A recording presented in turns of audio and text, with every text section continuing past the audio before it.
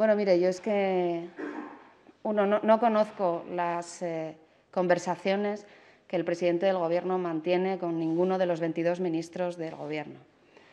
Dos, eh, tampoco em, tengo yo que ser aquí la, que, en este caso, eh, valore las declaraciones de todos los ministros del Gobierno. Lo que sí le digo es que si supiera de esas conversaciones, entendería que yo no las hiciese públicas, porque no lo he hecho público jamás. Yo las conversaciones eh, privadas, sean en el ámbito de mi partido, sean en el ámbito parlamentario, y ustedes me conocen muy bien, eh, nunca las he hecho públicas y creo que con eso le doy respuesta a su pregunta.